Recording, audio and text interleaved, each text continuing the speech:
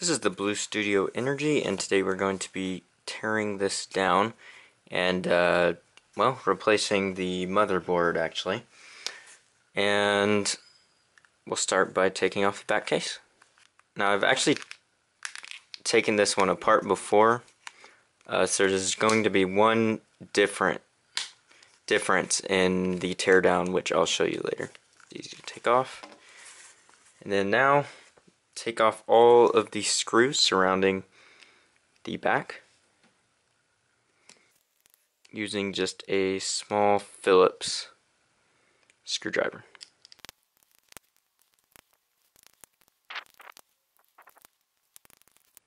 This is the screw with the warranty sticker on it. So just keep that in mind.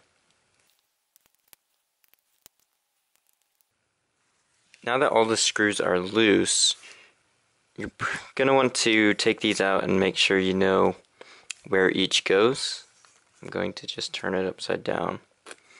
So there are two long screws and the rest are shorter screws. The two long screws, the first goes in the top left. Then the second goes in the top center all the rest of the small screws just go in the surrounding areas. Now that we have the all the screws out, uh, we're going to start by prying the edges up off of the screen. So from the very edge of the screen, don't get the glass of the screen, but there's a little plastic ridge in between the case and the screen. So you can kind of pry this open. I'm just going around with my fingernail and it is unlatching some of these connectors and now we can pull this straight off. As you can see I've done a modification here before and this is what I was talking about. I added this blue tape here. It used to be a clear film a clear film uh, type tape that was covering this, uh, but I just replaced it with that tape. So the film stuff, it looked like this. It's actually quite messy because it has some sort of lead type stuff in between it. It might be some tape uh, used for thermal uh, distribution, but I'm it's most likely not a big issue. So you're going to be taking that off and it kind of goes underneath underneath this area so you can't really get all of it off. As you can see there's a tiny bit of film still there. But what I'm doing is going to be replacing this motherboard with with a different one that I have. I'm going to take off the battery connector. So this is the battery connector. Up here is the digitizer this is the screen itself, the LCD screen. This goes to the buttons on the side. So this just unlatches and it can be pulled out.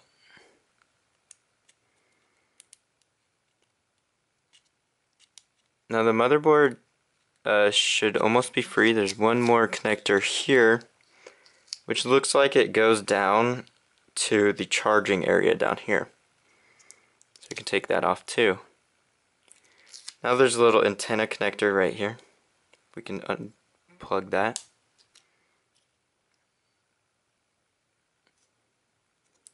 And now the motherboard. Now that was not a safe way to remove the motherboard. But that is the general idea. You want to pry this up and out and then this is the whole motherboard. And I'm going to be replacing it with actually from one from a different one I have. Uh, I'm actually this this phone is having problems with the buttons down here. And instead of just trying to fix this one I just want to switch motherboards. I don't since I have everything on here it all configured the way I want decided why not just switch motherboards. And you don't need to take off the camera part because it's connected onto the motherboard. So what I want to do is take this one and put it back into place here. So, put this down, make sure all the connectors are out of the way so that it can be plugged back in.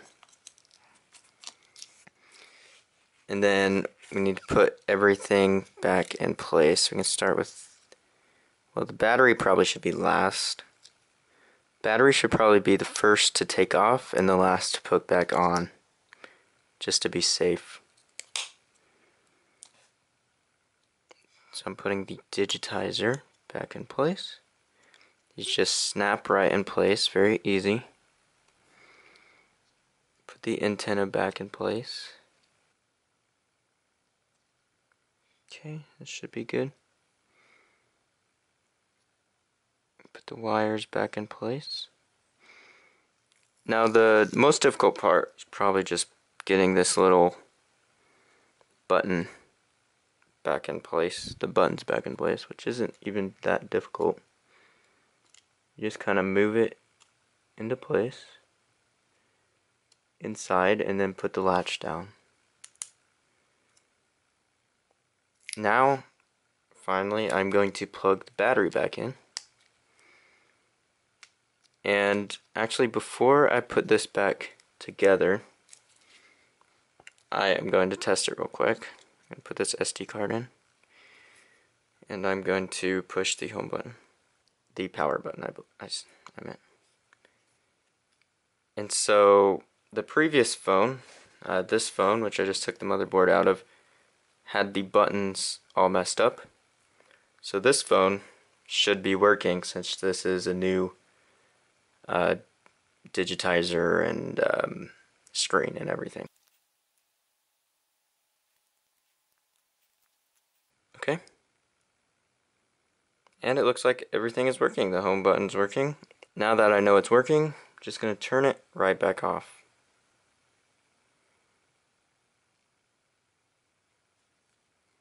I'm going to put the case back on. Um, I'm going to take the SD card out again. Once this shuts down, okay, it's shut down. Take the SD card out. Put the case back on. So the case should just snap back in place, kind of like how we took it off. Um, it looks like you'll want to put the the top on first because the largest ridge is the headphone jack area.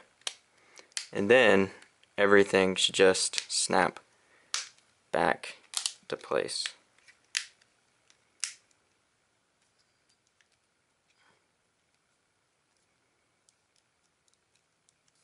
Okay. And now we can just put the screws back in place.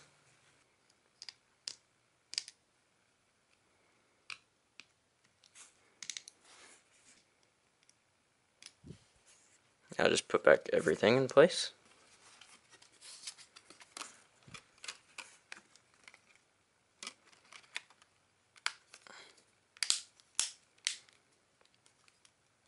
And there you have a working phone. There's a basic idea on how you can take apart the Blu Studio Energy. Thank you all for watching. I hope this helps someone.